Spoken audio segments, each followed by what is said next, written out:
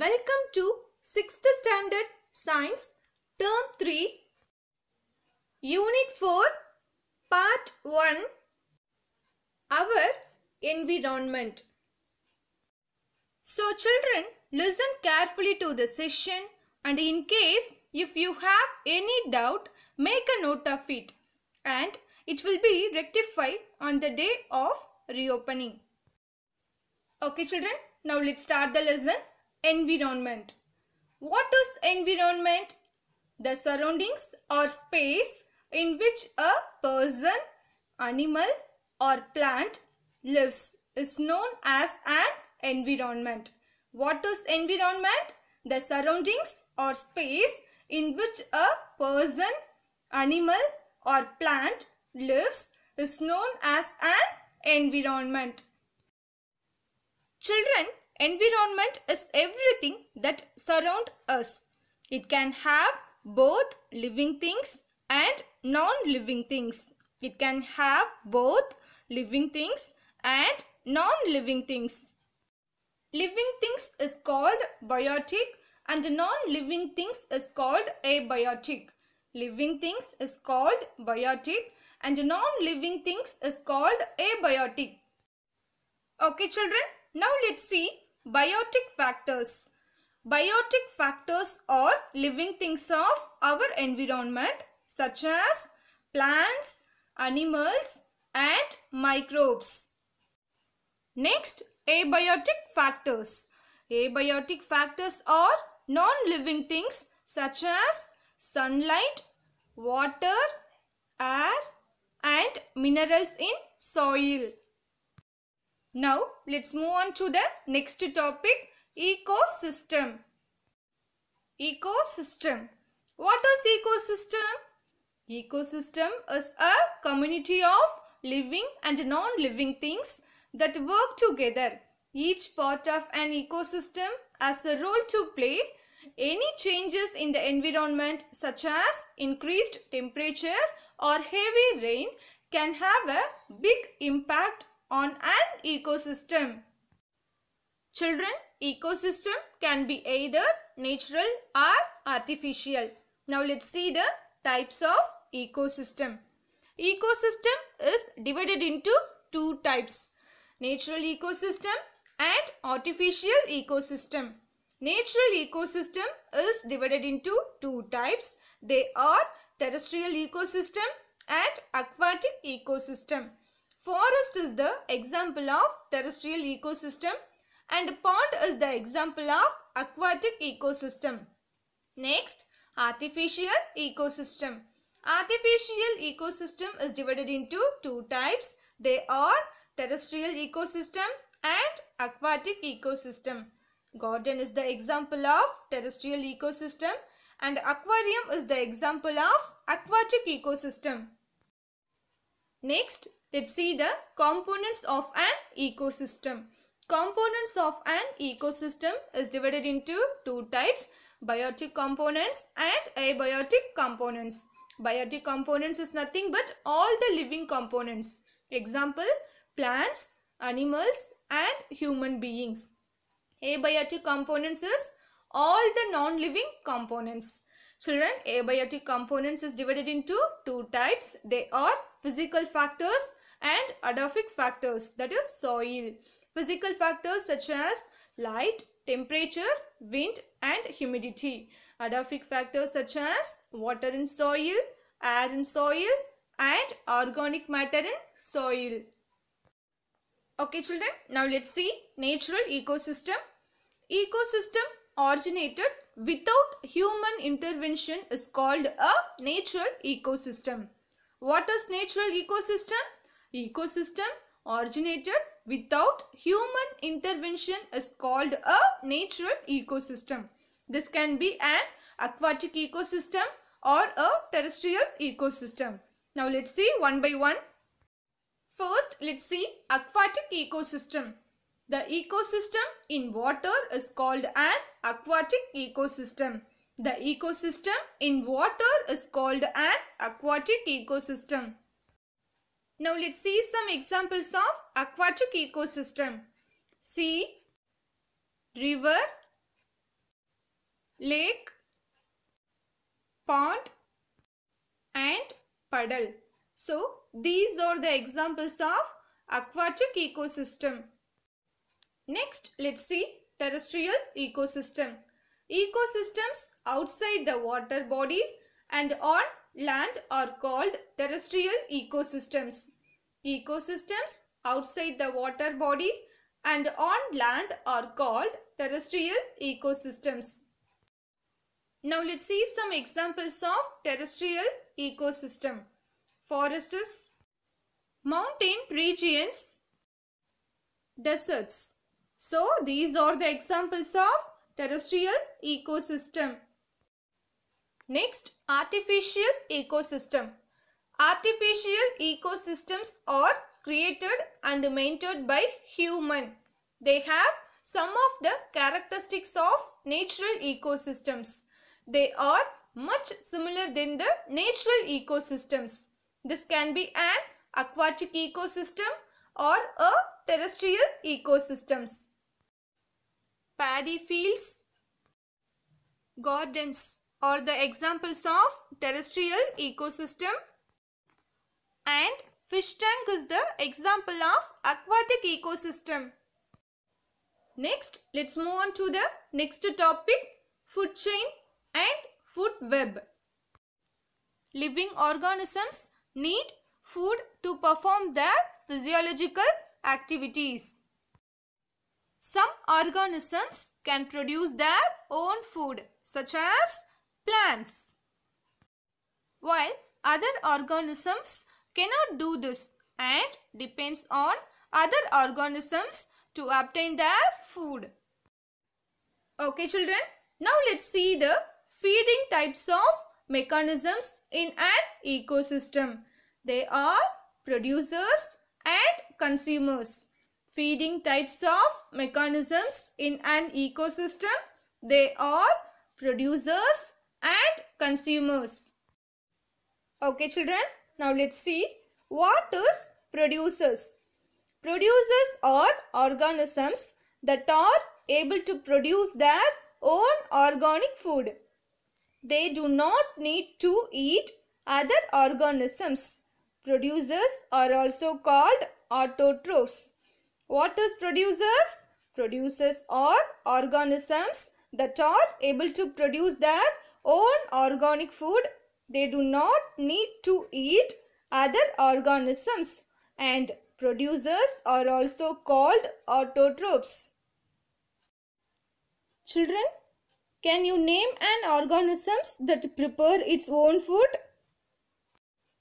Yes, plants are producers because they make their own food by photosynthesis.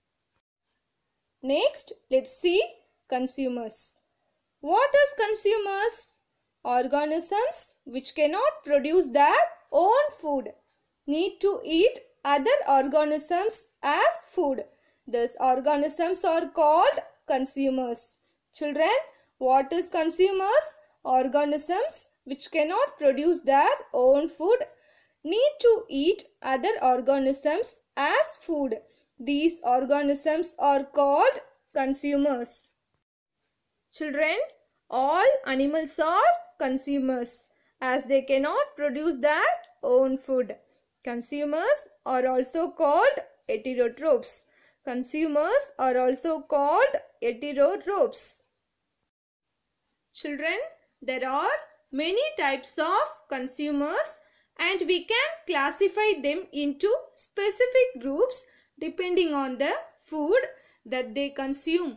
These are herbivores, carnivores, omnivores and decomposers. There are many types of consumers. These are herbivores, carnivores, omnivores and decomposers. Okay children, now let's see one by one. First let's see herbivores. Animals which eat plants or plant products are called herbivores. Animals which eat plants or plant products are called herbivores. For examples, cattle, deer, goat and rat.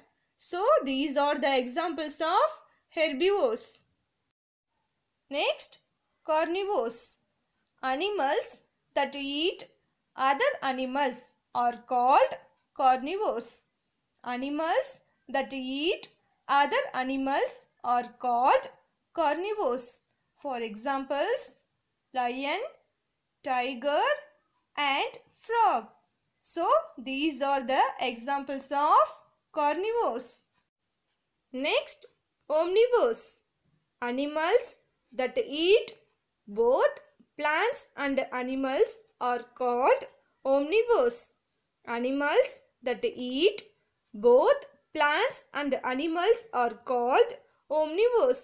For examples, humans and dog.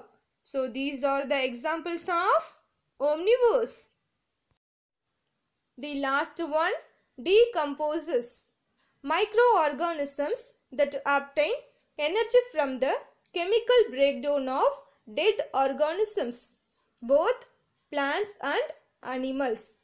Microorganisms that obtain energy from the chemical breakdown of dead organisms, both plants and animals. They break complex organic substances into simple organic substances that goes into the soil and are used by plants. They break complex organic substances into simple organic substances that goes into the soil and are used by plants. Bacteria and fungi are the examples of decomposers. Bacteria and fungi are the examples of decomposers. Next, let's move on to the next topic, food chain. What is food chain? In a forest, deer eats grass and in turn we know tiger eats deer. In any ecosystem, there is a chain-like relationship between the organisms that live there. This sequence of who eats who in an ecosystem is called as food chain. Children, what is food chain? In a forest, deer eats grass and in turn we know tiger eats deer. In any ecosystem, there is a chain-like relationship between the organisms that live there. The sequence of who eats whom in an ecosystem is called as food chain. And it describes how an organism gets food and nutrients by eating other organisms. A food chain shows the relationship between producers, consumers and decomposer. A food chain shows the relationship between producers, consumers and decomposer. Children see the picture. Plants get energy from sun. Deer gets energy from plants and tiger gets energy from tree. So it describes how an organism gets food and nutrients by eating other organisms. So this is the example of food chain in a terrestrial ecosystem. Next, see the picture. Aquatic insect gets energy from aquatic plant and larva gets energy from aquatic insect and fish gets the energy from larva. So it also describes how an organism gets food and nutrients by eating other organisms. So this is the example of food chain in an aquatic ecosystem. Okay children, now let's move on to the next topic, energy flow. Children, the food chain begins with the energy given by the sun. The food chain begins with the energy given by the sun. Sunlight triggers photosynthesis in plant. Sunlight triggers photosynthesis in plant. The energy from the sun is stored in the plant parts. Energy from the sun is stored in the plant parts. Children see when the grasshopper eats the grass, the energy flows from grass to grasshopper. Next, frog gets energy by eating grasshopper. And then this energy is transferred to a crow. So children, we conclude that primary energy production in the world of living things is produced by plants, that is by photosynthesis. Children, see the microorganism degrade the excreta and the dead bodies of animals into primary simple components and puts them back into soil. It is this material that help the plants to grow. Okay children, now let's move on to the next topic, trophic levels. Children, the energy is passed from the producer to the consumers. There are three different consumers in any food chain. There are primary consumers, secondary consumers and tertiary consumers. Okay children, now let's see one by one. First, primary consumers. Animals that eat plants are called primary consumers. Animals that eat plants are called primary consumers. Next, secondary consumers. Animals that eat primary consumers are called secondary consumers. Animals that eat primary consumers are called secondary consumers. Next, tertiary consumers. Animals that eat secondary consumers are called tertiary consumers. Animals that eat secondary consumers are called tertiary consumers. Next, quaternary consumers. Quaternary consumers is nothing but there may even be large predators that eat tertiary consumers. They are called as quaternary consumers. There may even be large predators that eat tertiary consumers. They are called as quaternary consumers. Children, predators is nothing but an animal that naturally preys on other is called predators. An animal that naturally preys on others is called predators.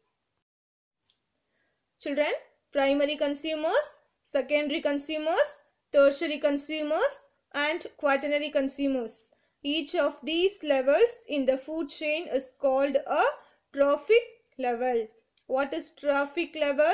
Primary consumers, secondary consumers, tertiary consumers and quaternary consumers. Each of those levels in the food chain is called a trophic level.